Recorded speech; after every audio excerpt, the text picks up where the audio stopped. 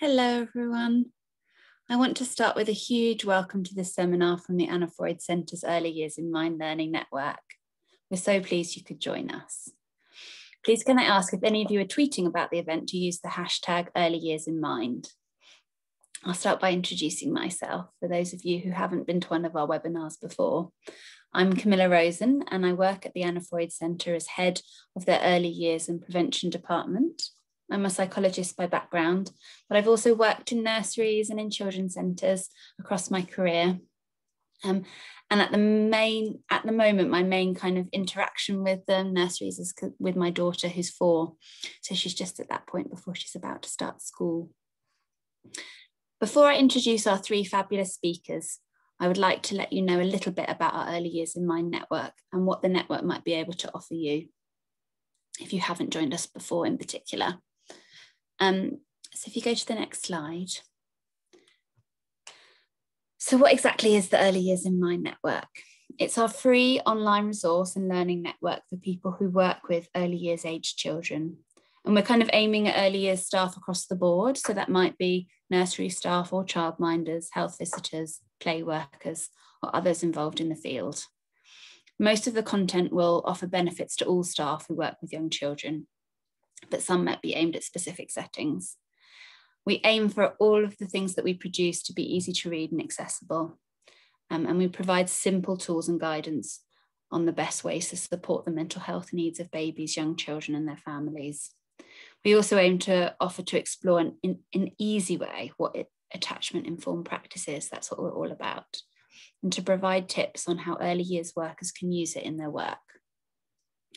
And at the moment, we've got uh, around 14,000 members since we launched in June. So we're really proud of the kind of interaction we've had, but also I think it illustrates um, people's interest and need for this kind of work. On the next slide. So some examples of the early years in mind sections of the website are our A to Z of common difficulties. So this section offers tips on how to understand and manage a range of issues that you told us that you wanted help with. So things like aggression, bereavement, trauma, which is the focus of today, um, sharing, separation anxiety, toileting, play, um, a whole range of things. Next slide.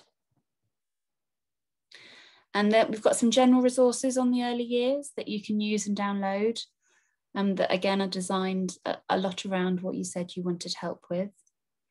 Um, and we're currently working on a few additional um, interesting developments. So this is going to include a new section of the website that will provide guidance on working with particularly vulnerable families.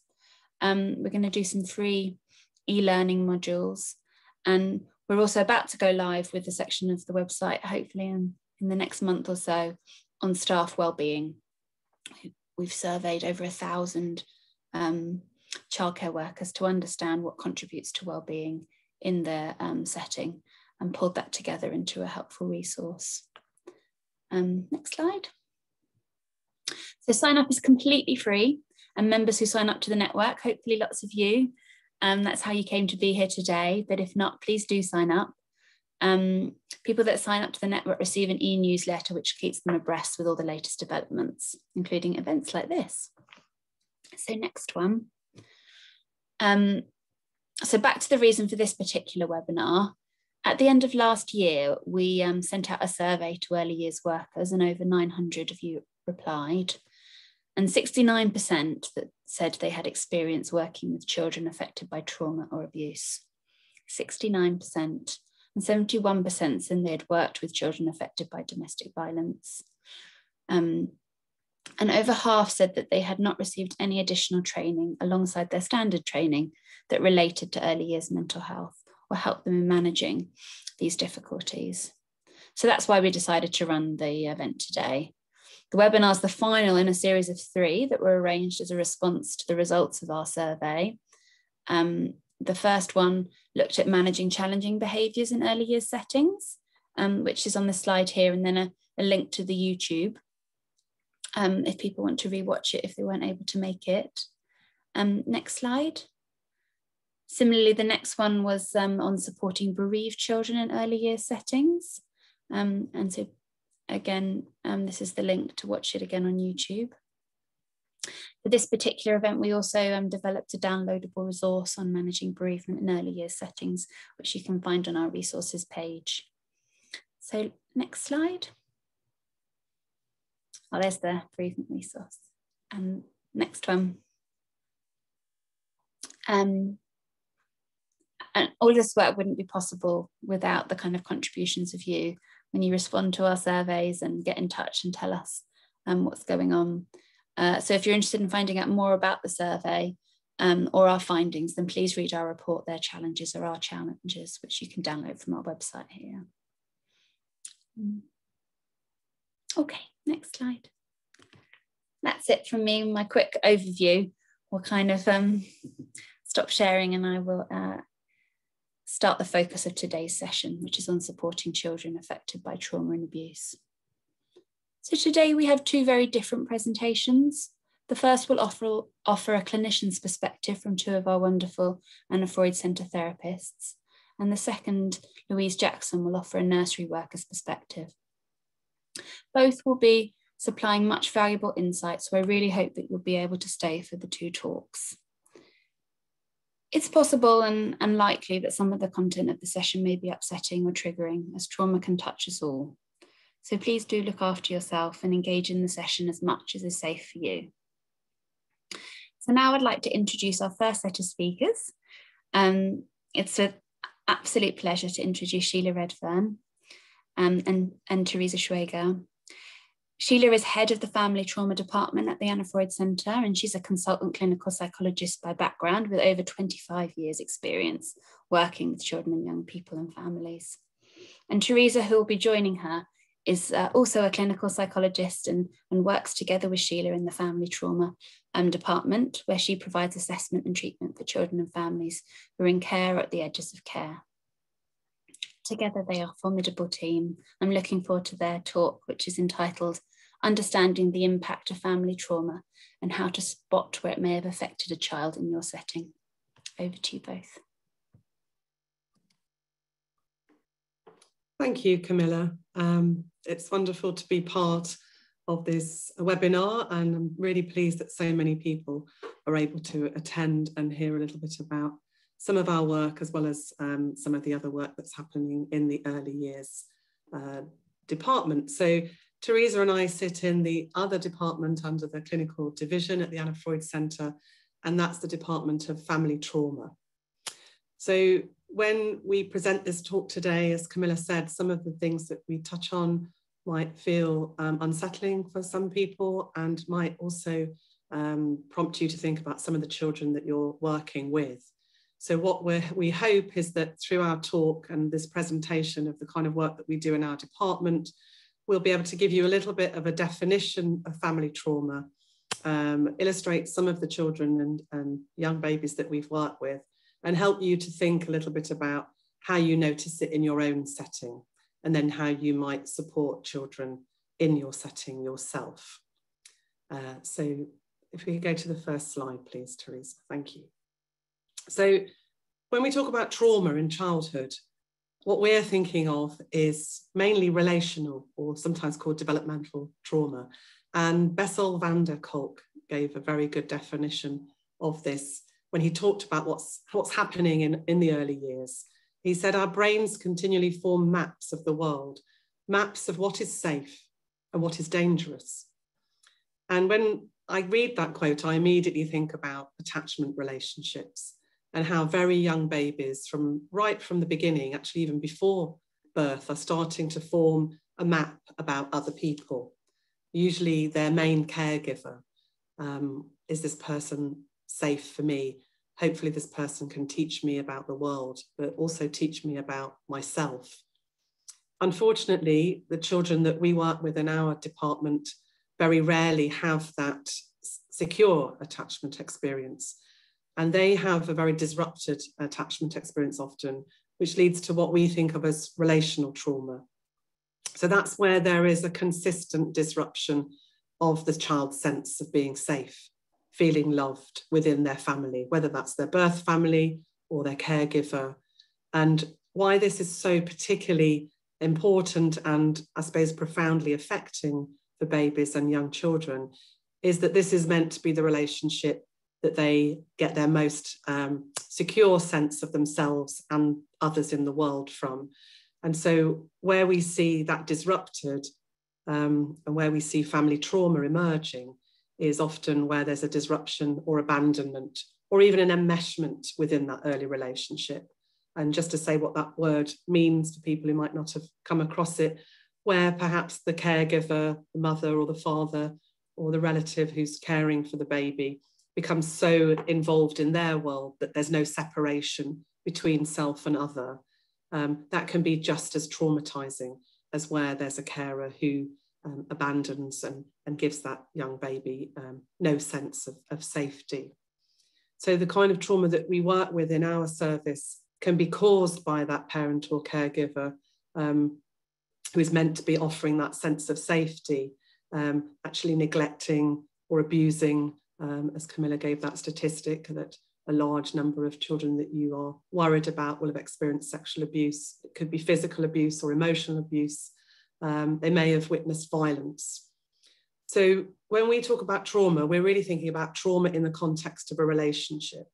And the impact of that is so profound that it will affect how children then relate to other people going forwards. And that's why it's so important to recognize the early signs of relational trauma and to try and do whatever you can in your work setting to address it because we know that the long-term consequences of a disruption to that early attachment relationship has profound impact um, on the relationships that the child will have for the rest of their life.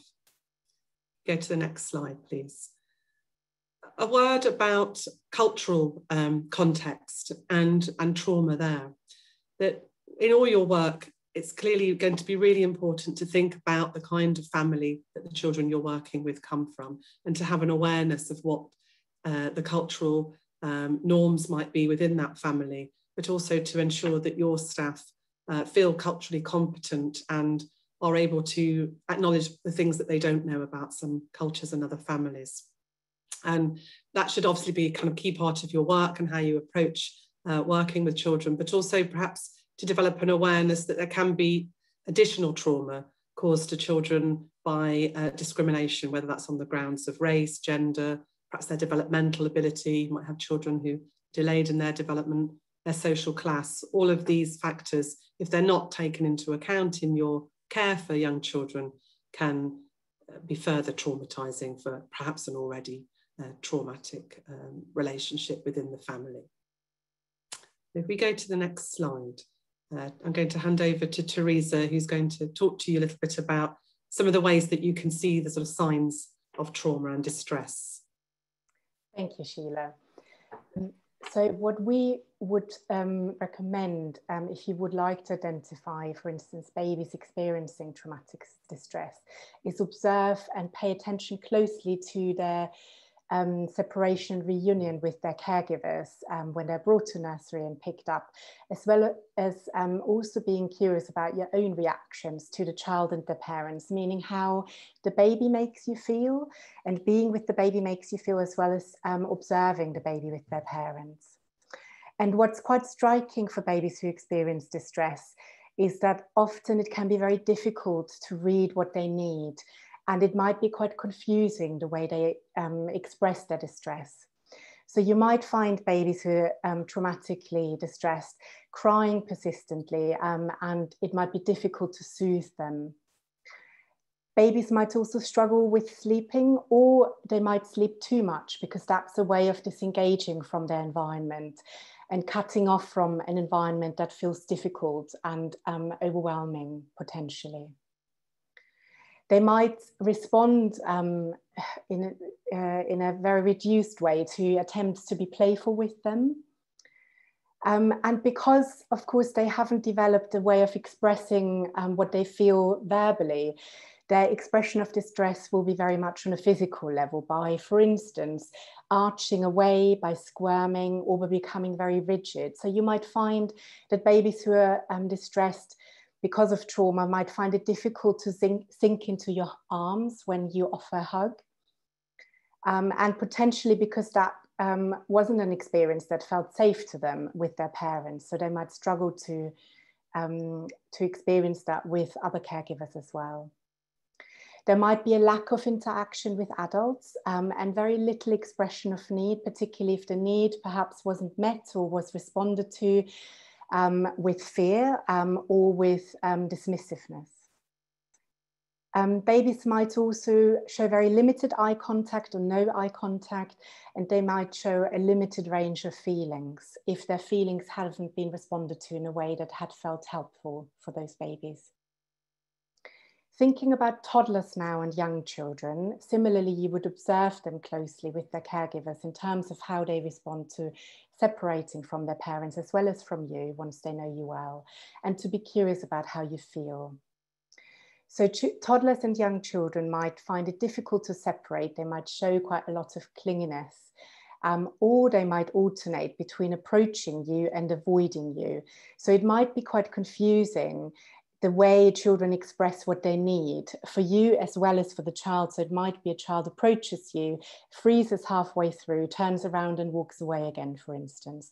Or they might be quite indiscriminate towards you, even if they haven't met you. It might feel as though the child almost treats you as though you're a familiar um, family member to them, which can sometimes be due to unmet need and just the need of, of all of us and, and particularly young children to be seen, held and cared for. What we notice a lot in children who have experienced significant relational trauma are emotion regulation difficulties. And those can manifest in lots of different ways. For instance, through crying, through cutting off from feelings because they're so overwhelming and nobody is helping them to manage those feelings that they zone out a lot, for instance or they might become quite aggressive towards you as caregivers as well as their peers or violence that they experience in the home might surface in their play with dolls or figures or animals. Children might be very hypervigilant and very alert to their environment. Um, and because um, they experience their environment at home potentially is very frightening, they cannot settle into playing because they are very busy trying to work out whether they are safe and that can really impact on their development of playfulness and their imaginative development, as well as their relational development, of course. Um, they might present with developmental delay, um, for instance, in terms of their speech, their motor development, as well as in their play, or if something else significant happens at home, they might go backwards in their development. For instance, if they've been toilet trained, suddenly they might be soiling or wetting again. Sometimes children also show an age inappropriate independence in that they don't tell you when they need something, but rather manage everything by themselves. And at first sight, they might not be the children that um, you pay that much attention to because they internalize their difficulties and they don't express it outwardly in their behavior. But really, it's very worrying when children cannot experience adults as safe and, and, and as helpful. And um, they might also express distress more in terms of physical complaints, sometimes because they haven't learned to name their feelings or even identify what the feelings are they experience. So um, they might express their distress through um, complaining about stomach aches, pains, or headaches a lot.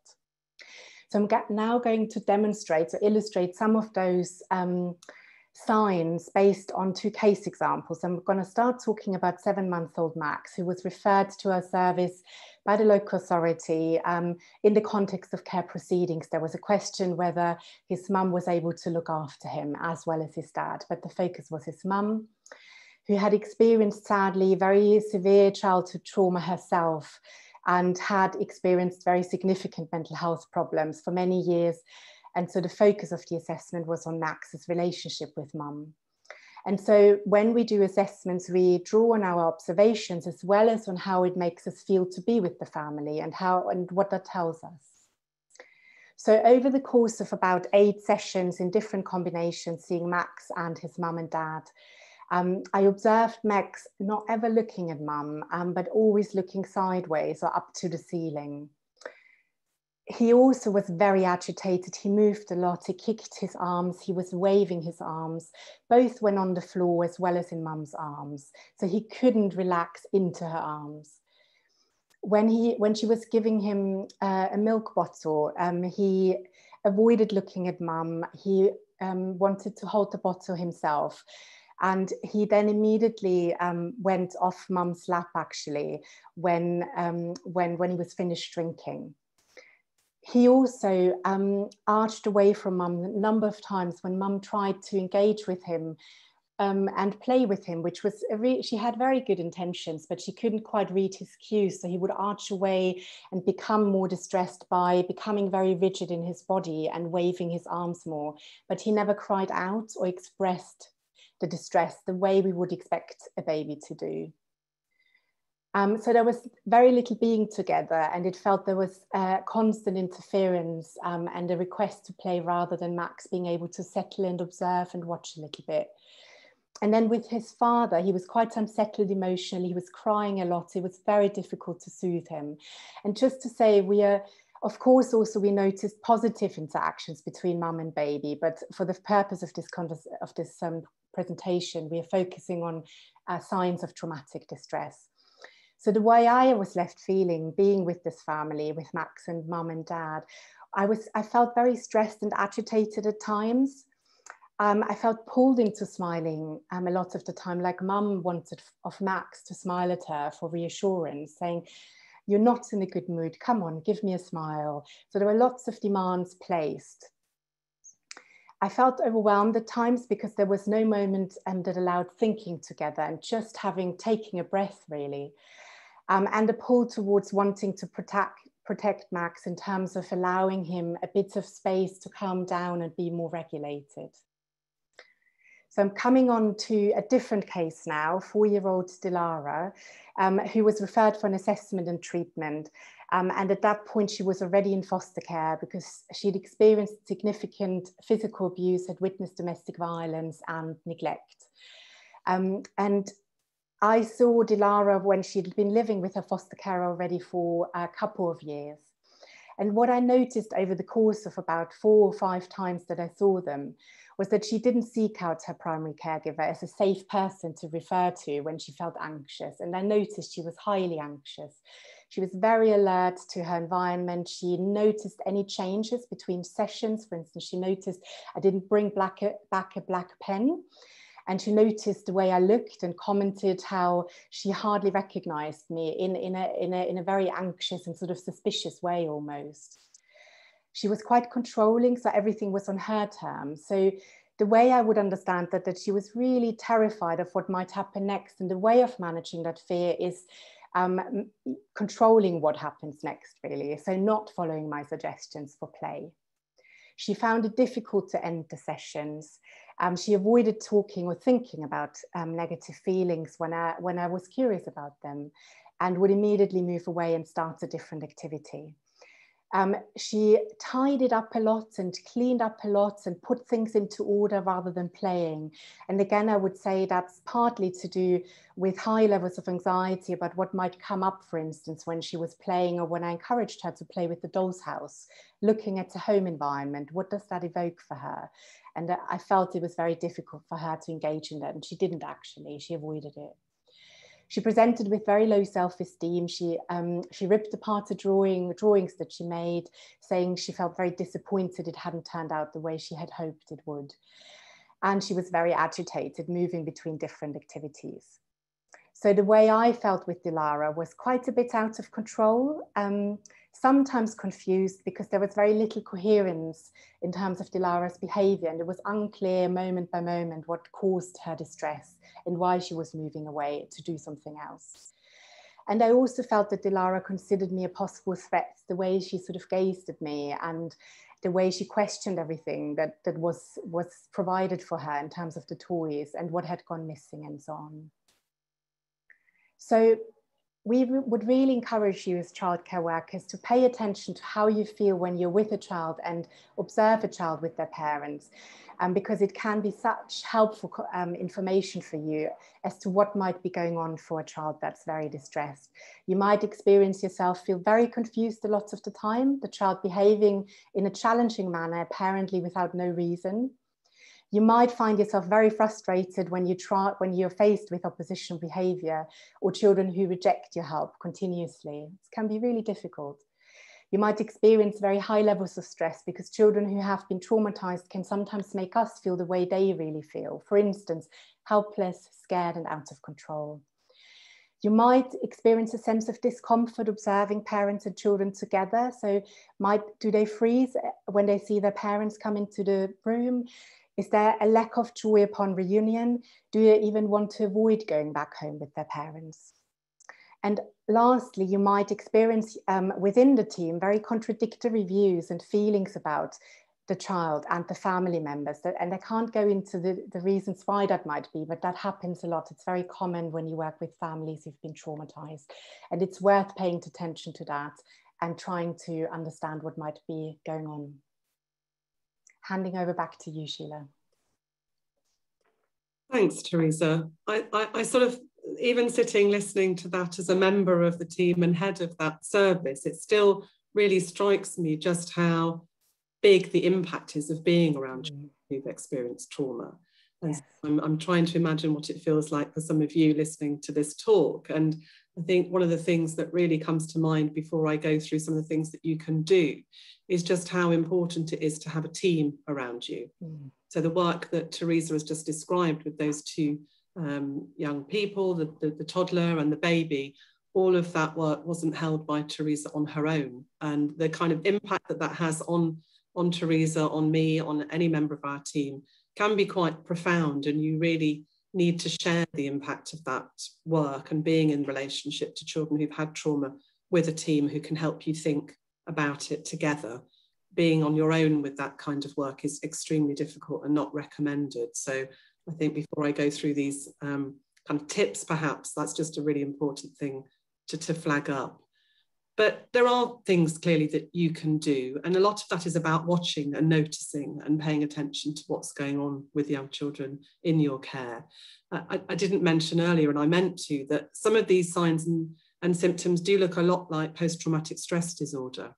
So if you're familiar with that and the kind of traumatic response that um, children and adults have when they've had a, a hugely traumatic incident, whether that's a fire or a kind of shocking event, then you, you see similar signs in young children. And this hypervigilance is one of them. So you can help a child who's experienced trauma by sort of noticing the kinds of things that perhaps make them hypervigilant and give some explanations to it. So you might want to give a bit of a running commentary. So if you notice a child suddenly jump from a loud noise, you could let the child no, you could voice really what they might be thinking. Oh, that's a loud noise from that car outside. Um, so it's normal to kind of respond in that way. And a child might feel that it, their, their feelings don't have an explanation behind them because they haven't been given that explanation and reflection in their early childhood.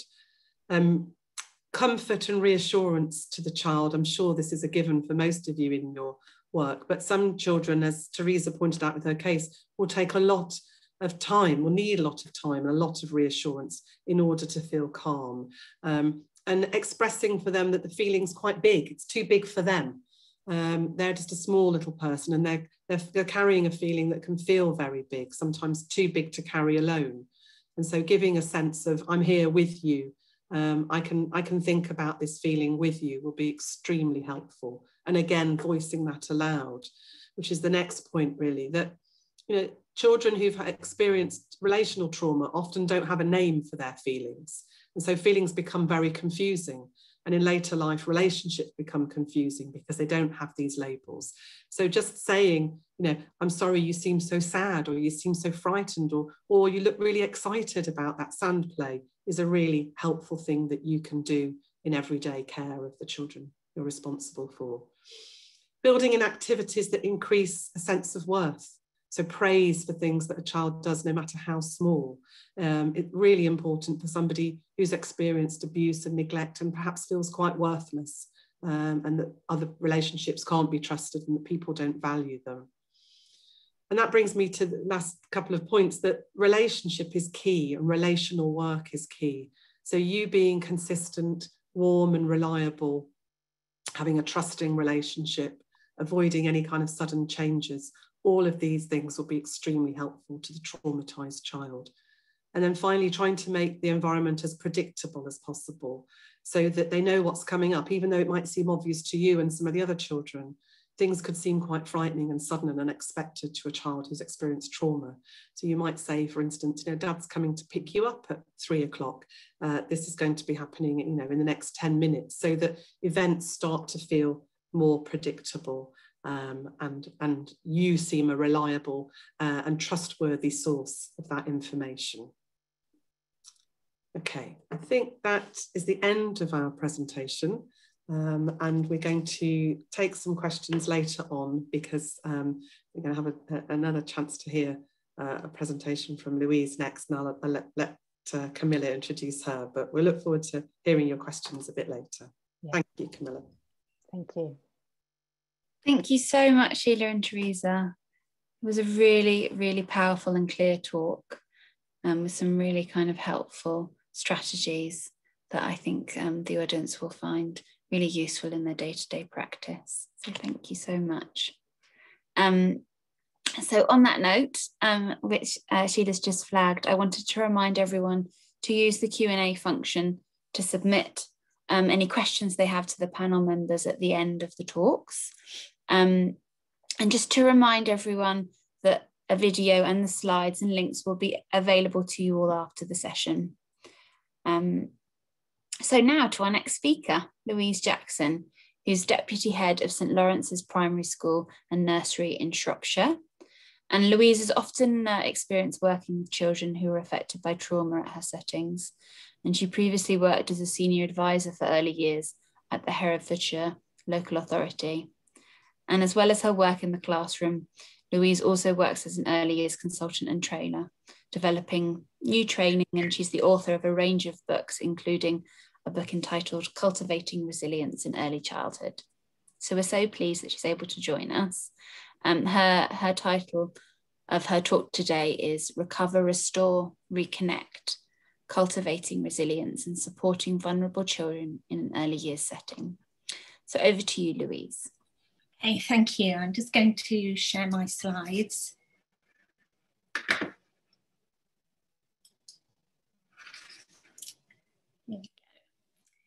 Okay, so um, it's great to be with you all today and with so many of you as well.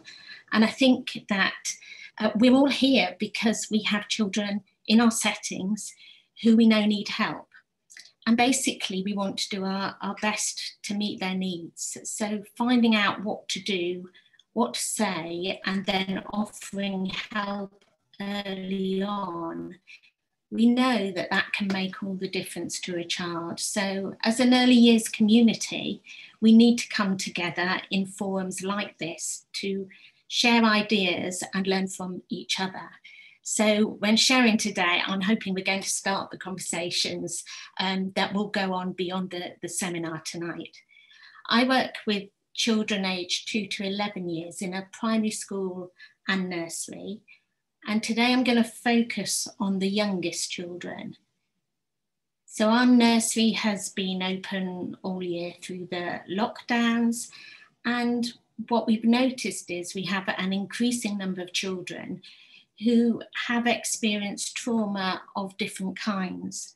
So we have children who have experienced bereavement, loss, separation, and a number of children who've been displaced in the last year. So they've moved from a place of safety to a place where they don't feel safe necessarily, or that that's very different to what they're used to. We also work with looked after children, and we've recently opened a hub for children who have special educational needs. Um, so we have quite a range of children who've had very different experiences. But for me, I've been a long time in education, and I've often wondered what is it that helps children to thrive after early trauma? So, back in 2015, I started on a bit of a journey, an action research project, and studied with the Centre for Research in Early Childhood to try and discover what indicators and actions are taken in early years settings where children who have experienced some kind of trauma uh, thrive.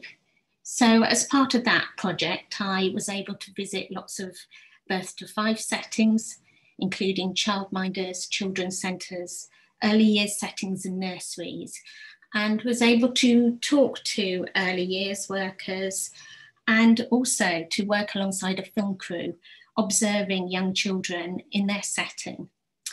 And there were clearly children who were thriving in the face of adversity. So six years later, I'm still learning about this. But it's clear that there isn't one early intervention scheme or program or government catch up scheme that's really going to solve everything. But there are some very um, quick and easy actions that you can take in your early years setting that will make a difference to a child who's experienced trauma and it will help reduce feelings of anxiety and stress. So today I'm going to briefly share some of the findings from the project and some practical ideas and resources that I've seen working well in different early years settings and which are backed up by the research. So to start with, um, keep a child in mind. Think about a child in your setting. So someone who stands out, who maybe you're a little bit concerned about. What do you notice when you stand back and observe the child? And maybe you recognize some of these behaviors. These are all behaviors that we've seen, particularly in the last few months, with different children in our early years settings. Dealing with these kind of behaviors can be quite exhausting as a member of staff. And it's really difficult to um, move your focus from what's going on, what's happening, the problems. But what if you look deeper? So if you ask yourself as a, as a team and have a conversation about it, when does it occur? When do these behaviours occur? Is it when the child is hungry, when they're tired, when they're involved in structured or unstructured play? Maybe it's when they're indoors or when they're outside.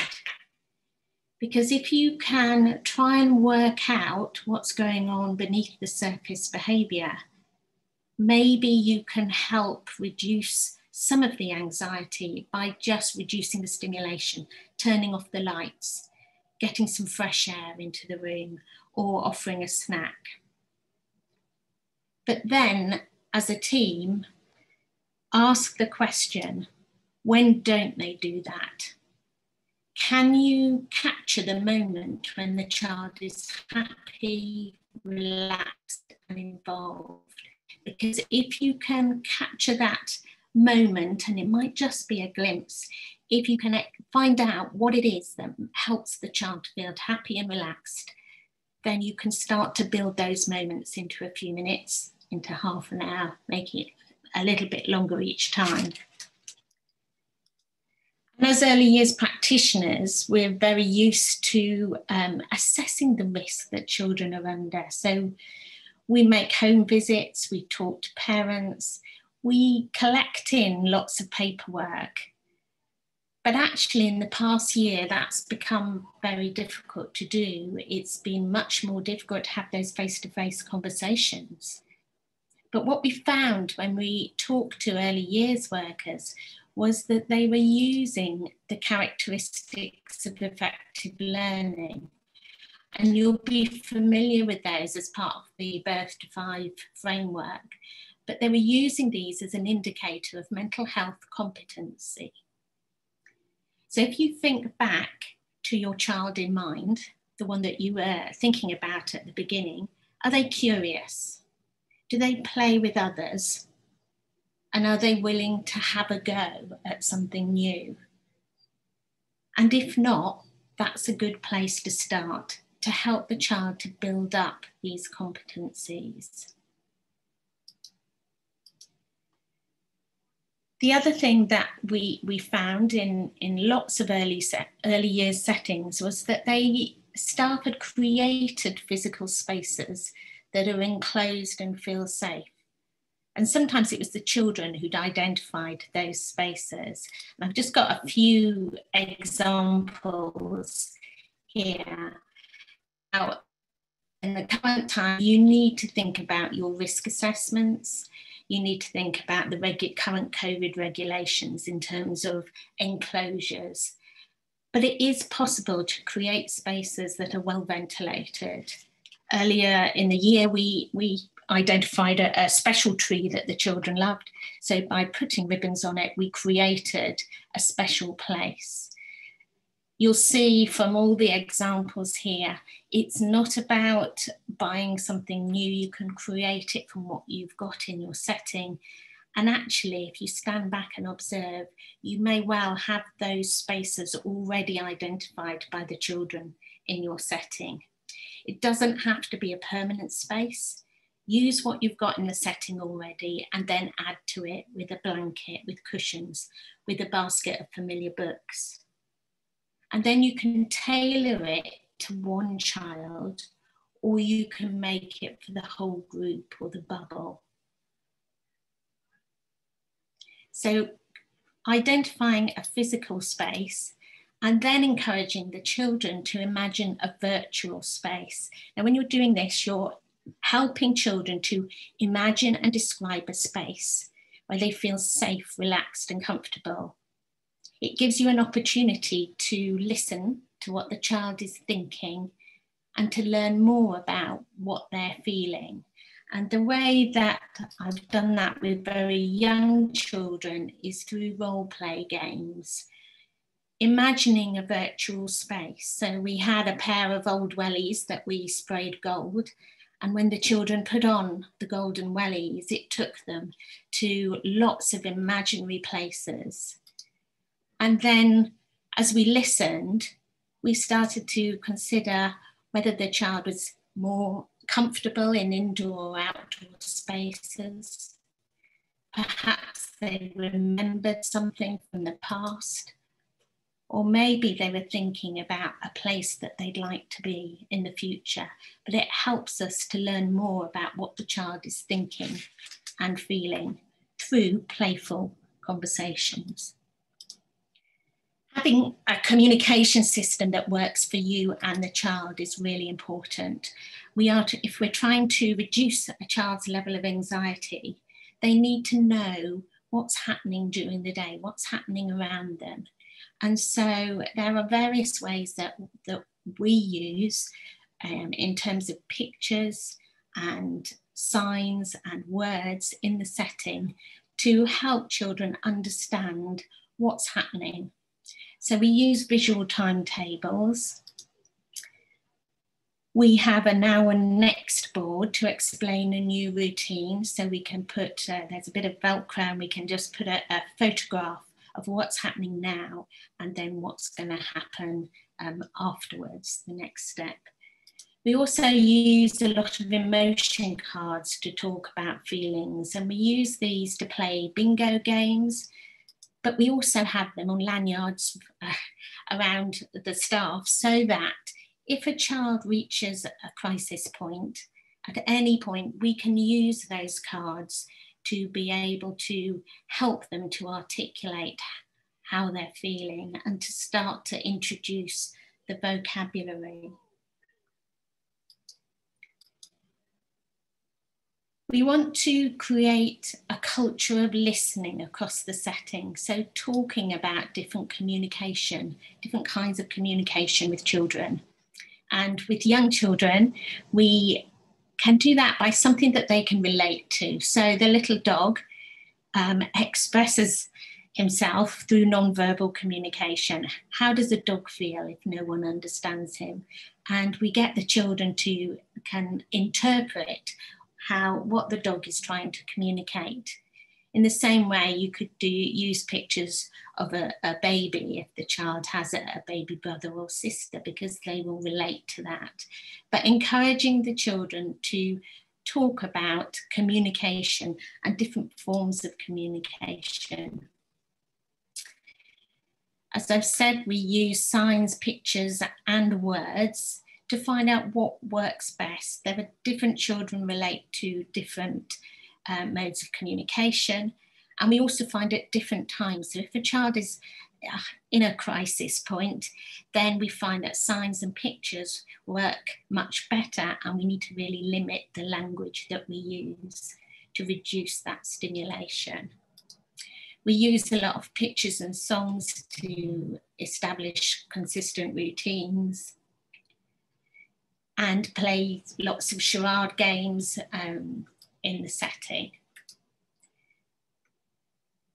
If you, um, you will all have a key person, so someone to listen to the child, and it might be the key person that's allocated, or it might be somebody who connects with that child in particular. And as Theresa and Sheila talked about, giving them an opportunity to articulate um, how they're feeling and using the vocabulary with them. And these are just some examples of what we use to help them to do that. Um, so I can see that you're feeling really angry at the moment.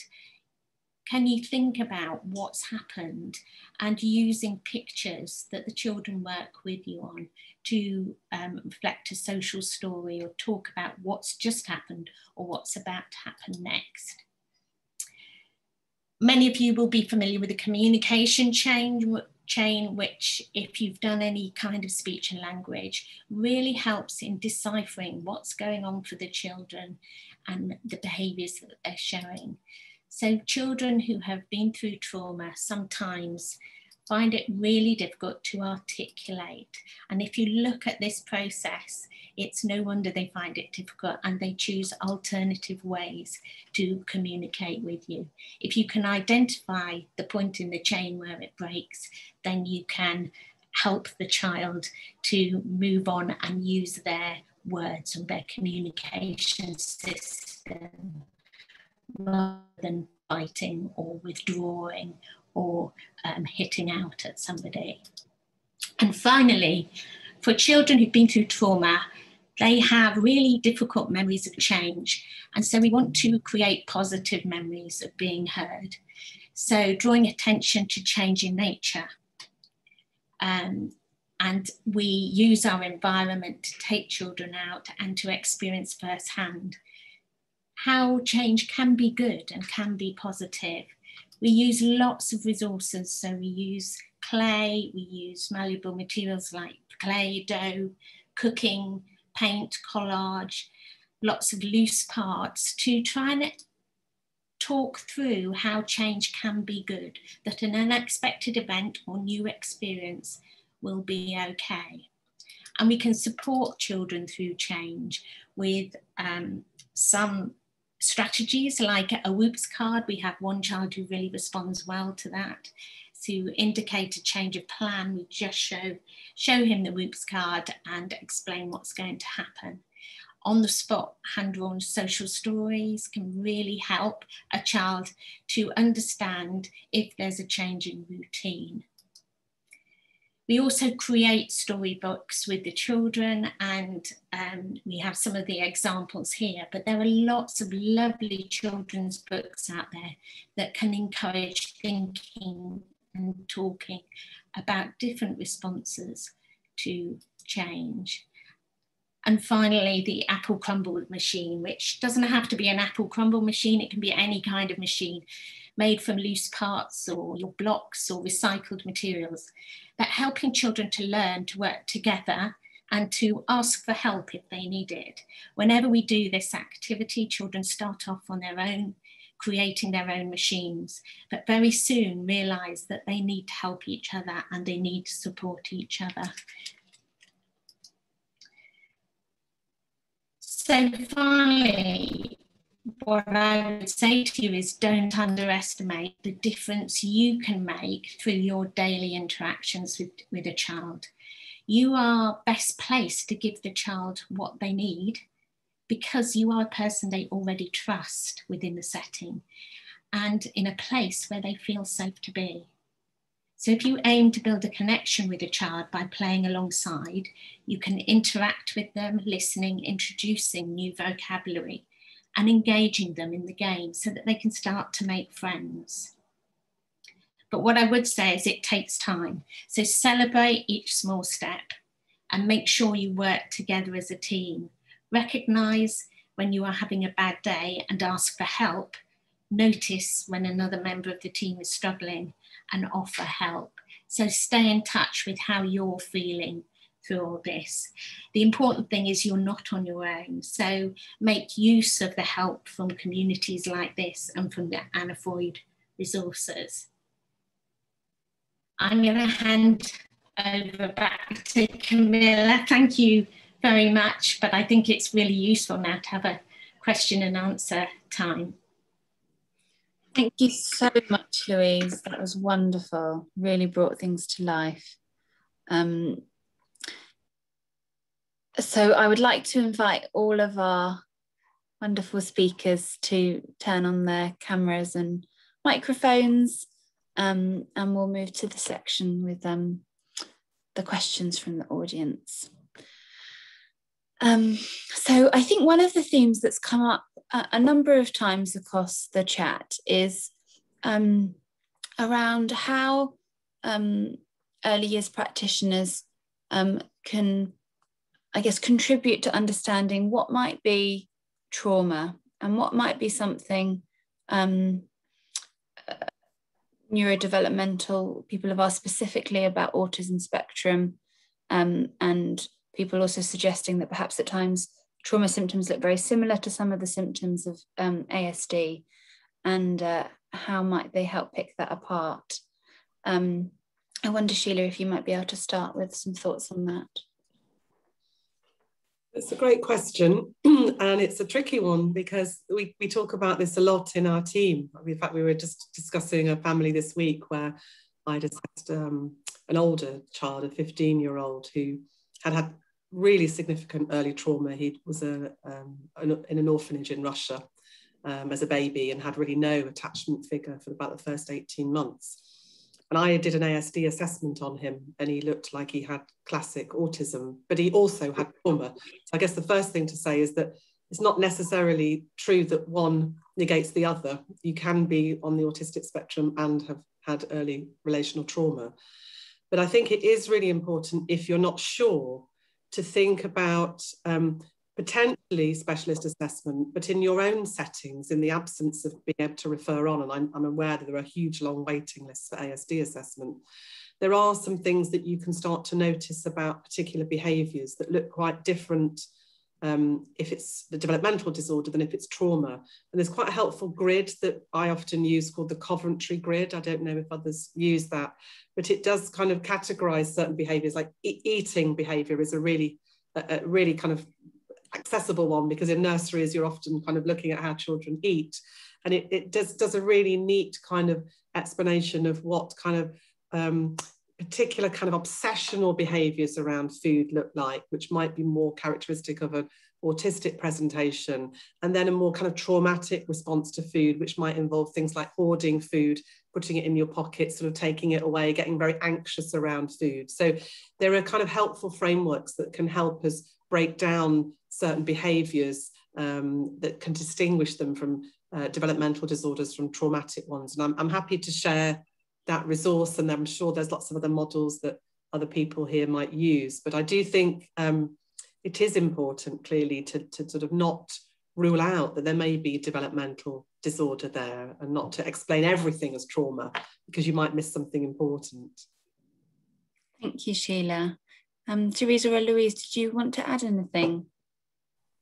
I think just to say that the, the strategies, particularly with visual support, can really help um, children. And so, in some ways, although you might be still going down a referral pathway, um, in the meantime, to help you cope with it day to day, introducing visual support can really help a child and using pictures with them, using signs, taking time to observe the child, to notice what works well, um, and, and work together with your team, have the discussions, um, and reflect on what works best for that particular child. I think maybe one comment also following on from that in terms of observing the child over the course of time. I think if you offer a child a bit of a different experience or of an adult who, who's consistently available and interested and helps them name feelings, just to observe whether they can shift a little bit in terms of their capacity to name feelings or start to engage in more imaginative play. And that would be an indicator that potentially the trauma blocked that or the, the, sort of lack of experience with the caregivers didn't allow them to develop that. But they might start showing some new behaviors or abilities with you. I, I guess it's also true to say, just adding on from that, that the same approach could be equally helpful, helpful whether it is ASD or trauma. Mm kind of naming feelings that all three of us were you know referring to about of noticing and naming feelings in the in the child. That would be extremely helpful whether the child has experienced trauma or whether they're on the on the autistic spectrum. So it doesn't necessarily mean a totally different approach. I think that the approach can be be really helpful. And of course lots of non-autistic children look quite autistic when they're highly anxious and they might retreat into that kind of autistic state so um, it is quite often difficult to separate, but it just it's about, as Theresa said, and I think Louise as well, it's about watching and sort of noticing and, and doing an awful lot. I agree with Louise that there's an awful lot you can do, it doesn't have to go straight to referral. Uh, and, and clearly people in this audience are in the ideal position to be doing a lot of that early help. Um, thank you so much. I'm going to move us on to the next kind of area of questions.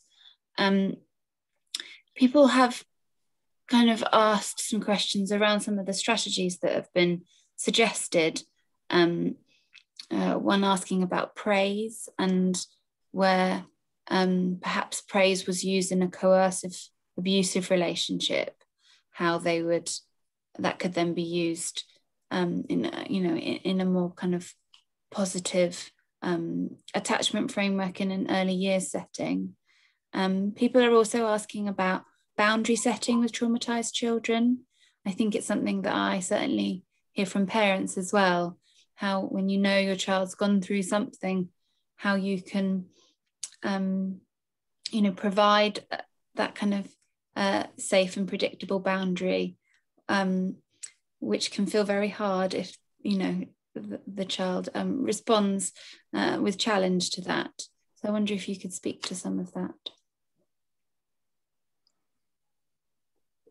Well, I'm happy to pick up the question about limit setting, perhaps, uh, for children who've been traumatized.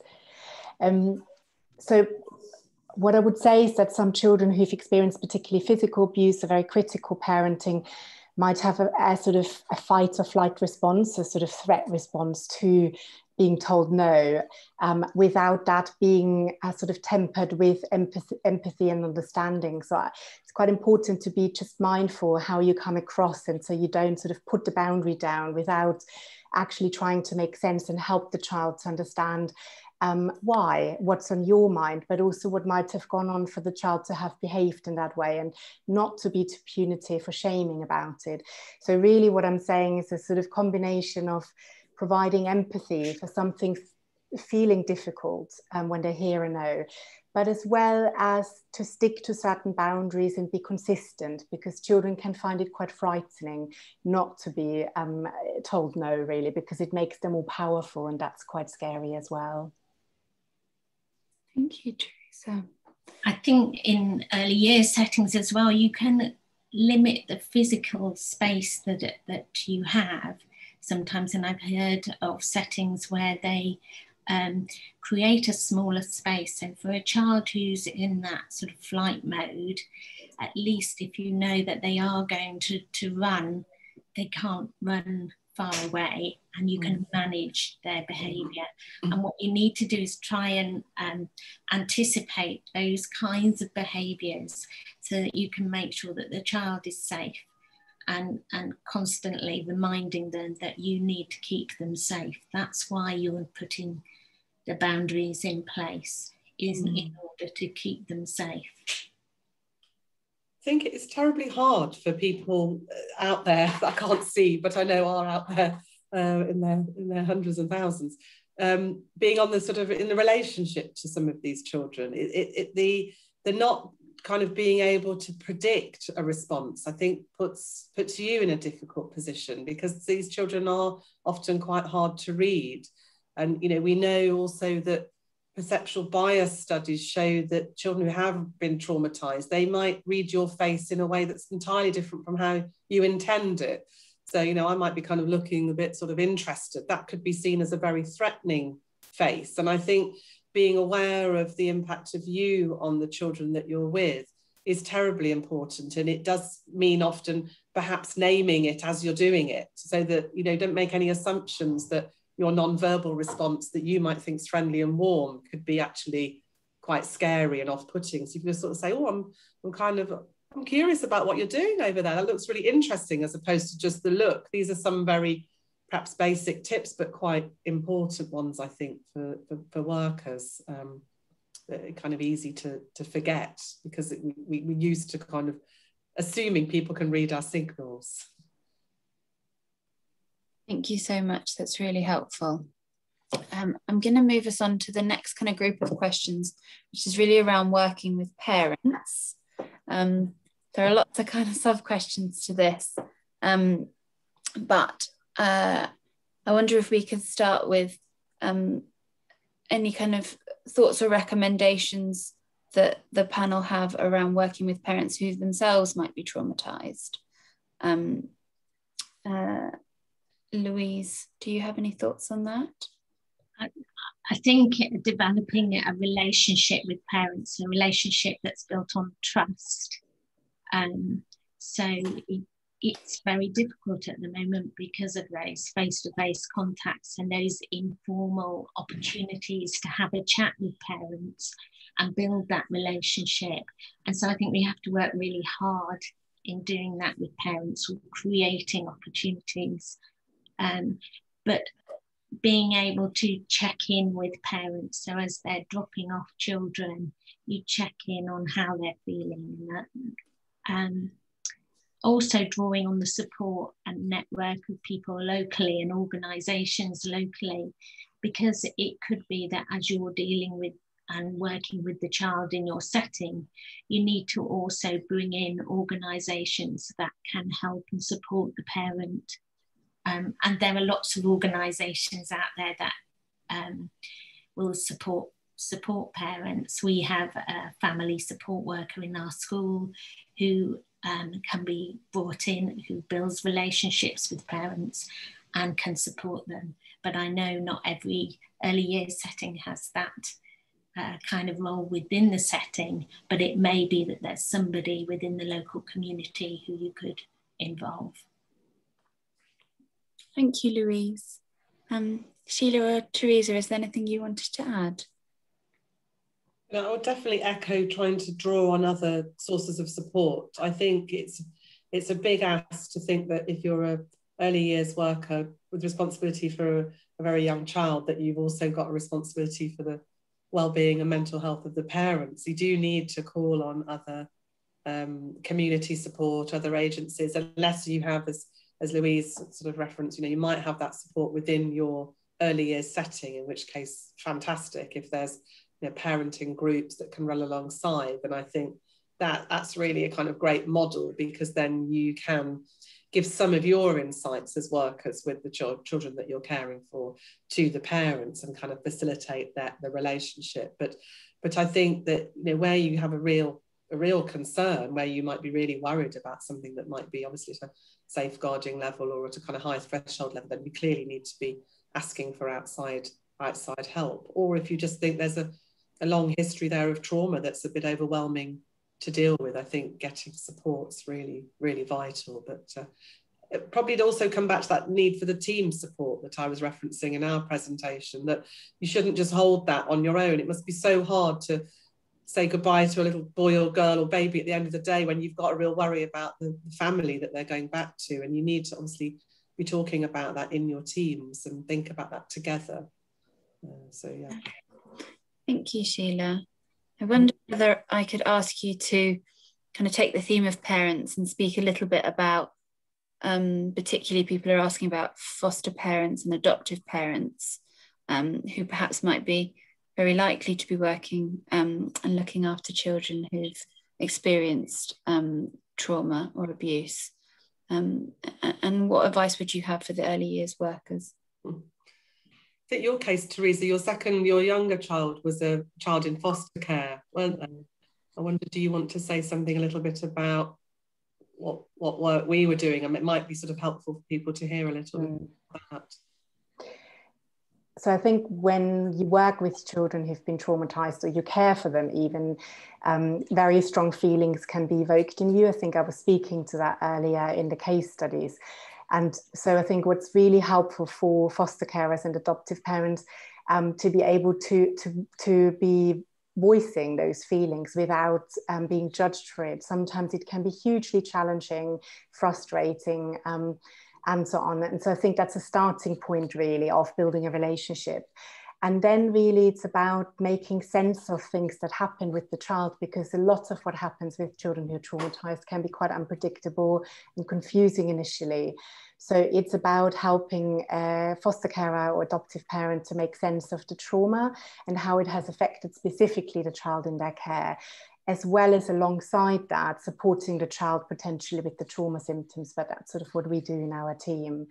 Um, but I think there's also something that you, as Ali, um, years workers, I mean, loads that you can do, as we heard from Louise, and, and also what we've been referring to, is uh, really starting to create a meaningful narrative for both the child um, in terms of what they experience on a daily basis with you sort of why is it upsetting um, when um, I think there was a question about the painting of the little girl and why and who ripped the painting apart. I think it was um, uh, I forgot the name now, I'm sorry. Um, but um, uh, she ripped her painting um, apart, and there was a sense that nothing she did um, was quite good enough. And I think the comment in the in the chat was that that's very sad, and it was very sad to observe it. But there was also huge amounts of anger because I think in some ways she felt perhaps I would think that it's not good enough. So the way I guess I respond to that, that was also a question, is to say. Well, I, I, can see it's really upsetting when something doesn't work out quite the way you really were hoping to, and you did such, you made such great effort to do that. So I know I'm, I'm diverting a little bit, but um, really what you're doing with the children, you might also encourage foster carers and adoptive parents to do to make sense of experiences and put word, words to feeling states. I wonder as well about whether just to sort of it's a bit researchy and I don't want to sound too teachery, so I'll try and resist that. but I'm interested in this work. But I, uh, there are a lot of studies that show that for adoptive parents and foster carers, when they are looking after and parenting a child who's experienced trauma and who doesn't, we call it you know, difficulties in mentalizing, but where they kind of find it difficult to recognize thoughts and feelings in themselves and other people, um, that that impacts on the carer that you might have, you know, you might be the kind of most reflective sort of adoptive parent ever. But when you have a child that you're parenting who has got really significant difficulties in mentalizing, it impacts on your capacity to, to, to, really process thoughts and feelings and kind of name them. And so, you know, you might see that when you see um, adoptive parents or foster carers with with very traumatized children, that they might be a bit frozen themselves because of the impact of being with those children. Uh, and clearly they they need some support and there's lots of there are lots of groups for foster carers and adoptive parents that that talk about this you know a lot about sort of living with with in a kind of trauma world i suppose trauma informed kind of parenting where you learn to manage that and and i guess kind of taking care of your own emotions and trying to regulate yourself around children who have been very traumatized is just so important because you can start to mirror. You know, we were sort of looking at foster carers who had very withdrawn children. And instead of kind of getting closer to them, they started to pull back a bit and think, oh, this child's kind of fine on their own, um, which is, you know, obviously the opposite of what they need, but it was just a kind of normal response to kind of fitting with the child's style. So supporting that and being aware of that is, is sort of really important. I hope I didn't go too teachery there. No, that was great. Thanks, Sheila. Really helpful. Um, Louise, is there anything you wanted to add? Just I would say is working together so that whatever you put in place is consistent for the child because it, it would be really unhelpful for the child to be moving between home, between um, nursery, and to experience different strategies being almost experimented and used with the child. But if you can agree on an approach that's going to work at home and in school, then from the child's point of view, it will be consistent and that's much more reassuring. Thank you, everyone. Um, I'll move us on to another area that's come up a few times in the chat, and it's around where trauma might present itself in a physical way. Um, which I think some of you touched on, but the idea that um, you know a child might be talking about a tummy ache or a headache or aches and pains. Um, do you have any thoughts about how um, how to work with that? Um, but there's also been questions around um, how to um, share a kind of trauma understanding with other early years workers, so the kind of staff team, but also parents. Um, when your sense is that those kind of physical symptoms are trauma related. Um, anyone um, want to go first on that?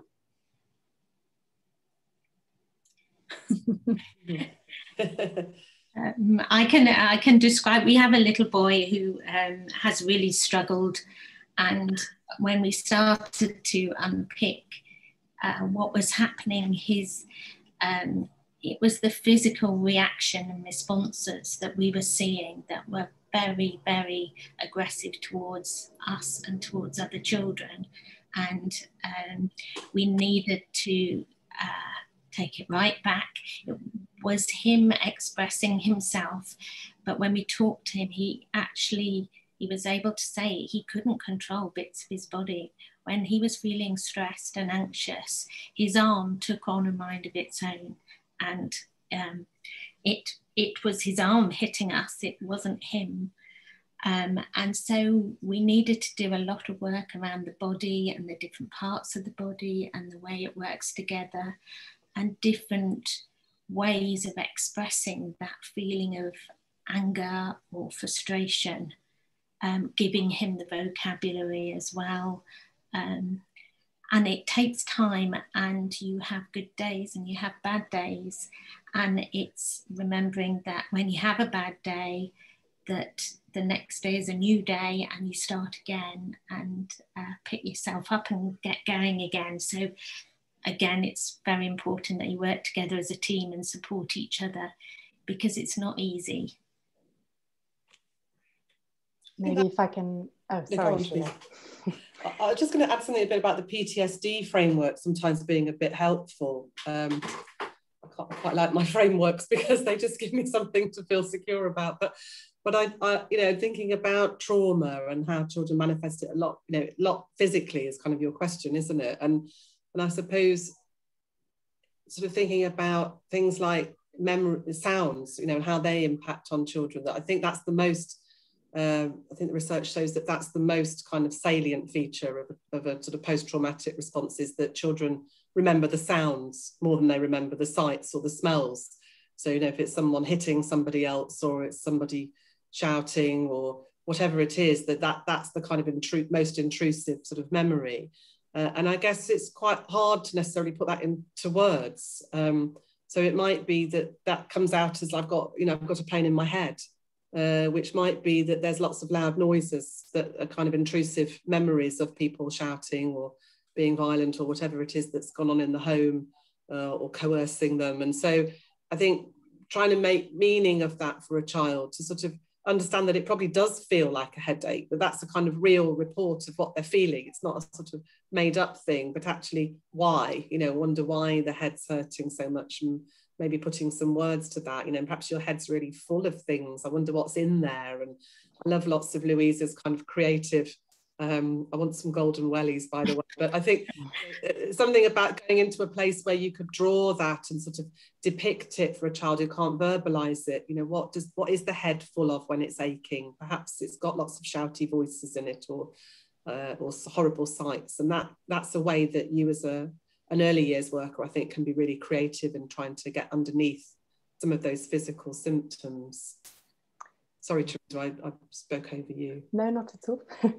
I think that's really helpful. I think the only thing I wanted to add is that I think it's quite a long process to move from expressing feelings and experiences through um, what what what hurts in, in a bodily sensation towards being able to name feelings and I think that's just important to be aware of because otherwise you know that there's lots of effort that it takes to actually allow a child to develop that. And it won't it will be in combination with what you offer as childcare workers as well as um, you know, working together with the parents or um, seeking additional support for the parents to be able to learn to do that a bit more if, if there's a bit of a, a difficulty in understanding and in connecting because ultimately it's about a child experiencing a sense of being thought about uh, and understood. And actually it's very difficult to understand what goes on a lot of the time. So um, just to be a bit patient and expect that that can take time i think is important. Thank you so much. Um, one of the questions that's come up in a few different ways is um, how if you suspect trauma based on some of these helpful um, kind of signs that you shared with um, the audience, um, how might you go about exploring that um, sensitively and thoughtfully, whether that's with the parent um, or with the child themselves? What's your kind of advice around um, how you what you might do with your kind of worries?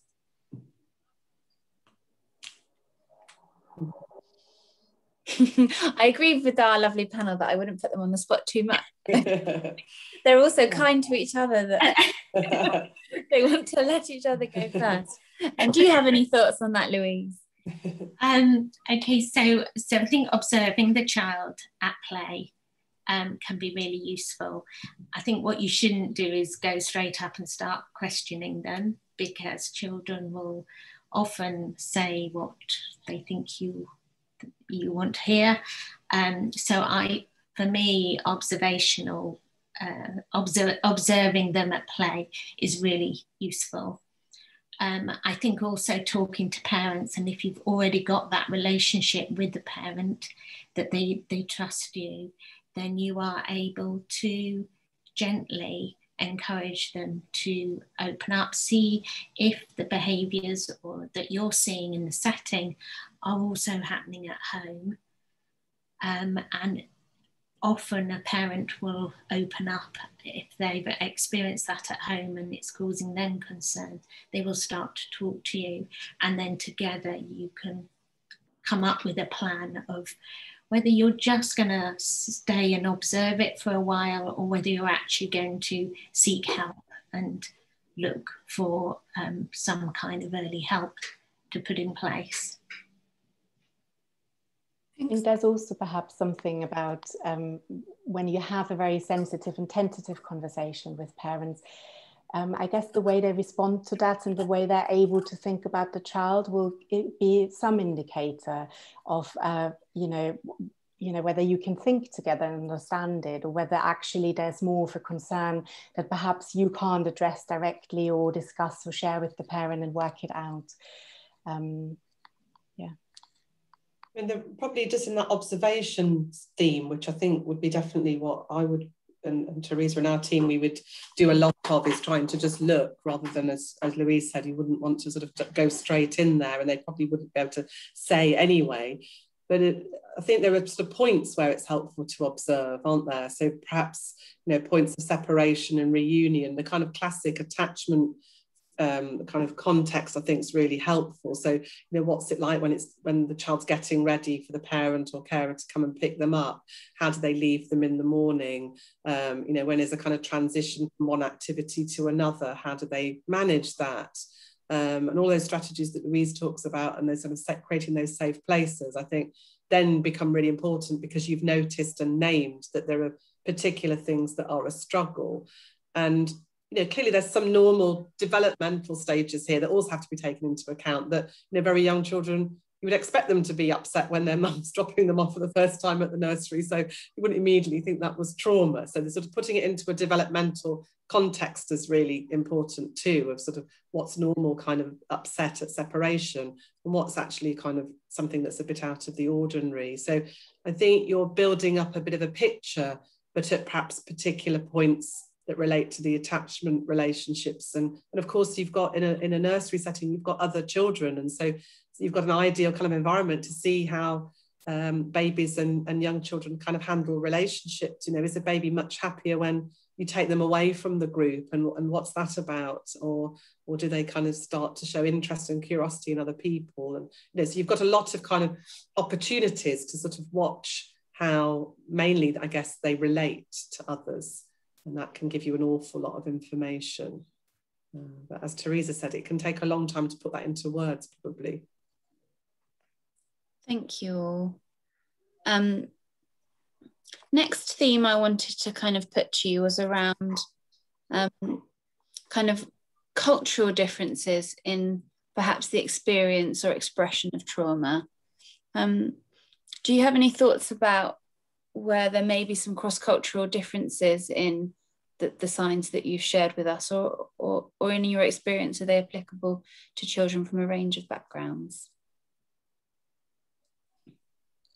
I have some experience, but I'm really kind of slightly hesitant to, to sort of pigeonhole as well, because of course families do things very individually. So I don't want to fall into saying this kind of family does this or this kind of, but I did have a strong um, impression when I was working in um, Ealing and Southall um, in West London, where there's a very large South Asian population of the physical manifestation of difficulties, not especially trauma. So probably some slightly off topic here because um, I didn't then work in such a sort of uh, uh, traumatized service or trauma focused service, but certainly um, a difference in kind of expressing difficulties in children uh, that I found there, particularly that families um, slightly unwilling and maybe also not sort of um, kind of so uh, comfortable with going for psychological help because I guess that's also part of what you have to consider in different cultures is it's not just about whether it is named and it exists but actually what's the level of comfort of seeking professional help? Um, and I think that can really vary from culture to culture. Um, so yeah I, but I I think that it's really important to look at still the kind of relationships within within a family. You know, within the context of the cultural norms of that family but actually the detail of what's happening in that relationship.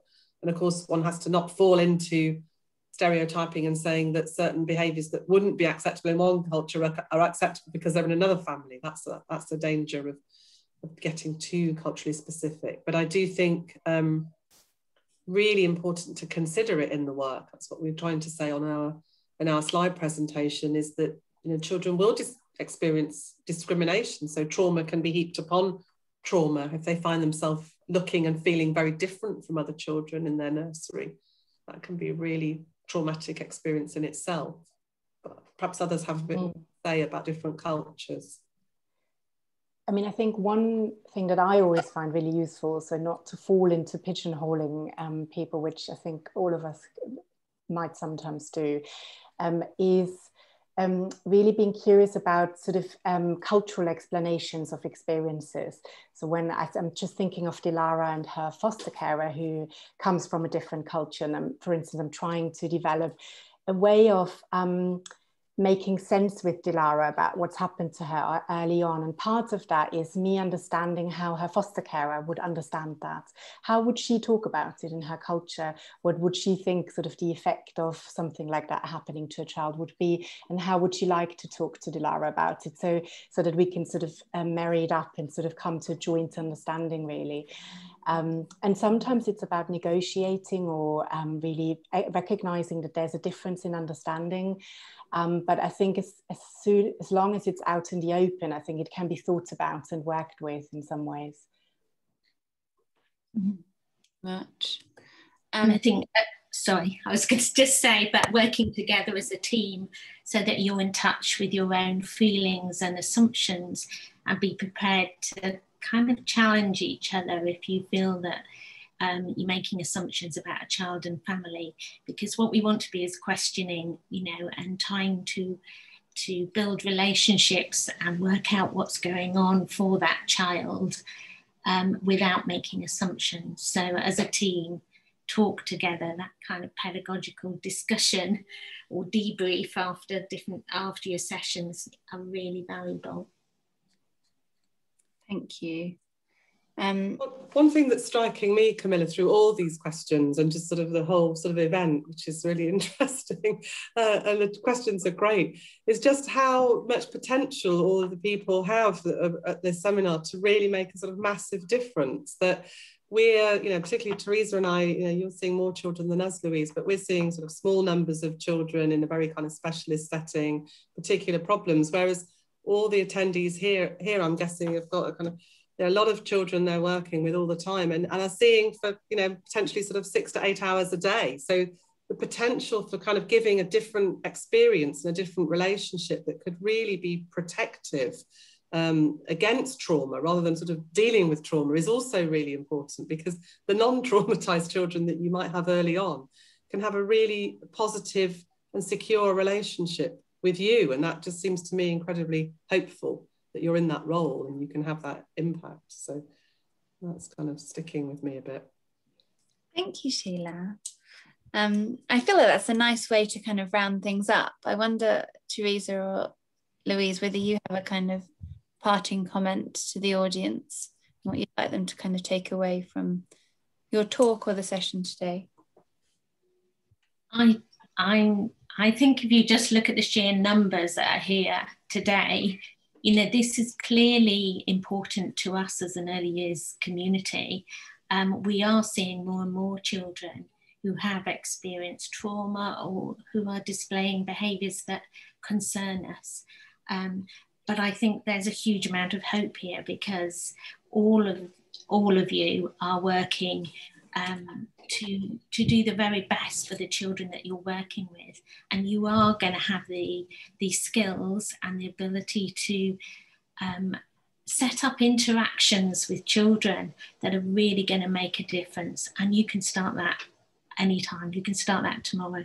There's no you, no waiting lists or anything. You can do it on a daily basis with those children.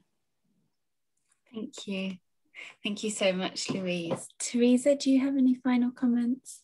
I think um, Louise uh, phrased that in a really lovely way, and I don't have much to add other than to say that I think it's amazing how many people came and are interested and really want to make a difference. And I also very much believe that everyone here can, on a daily basis, even with very small steps, make a huge difference to a child without even knowing think that's helpful to hold on to, particularly when things get difficult with children and how little things can mean a lot.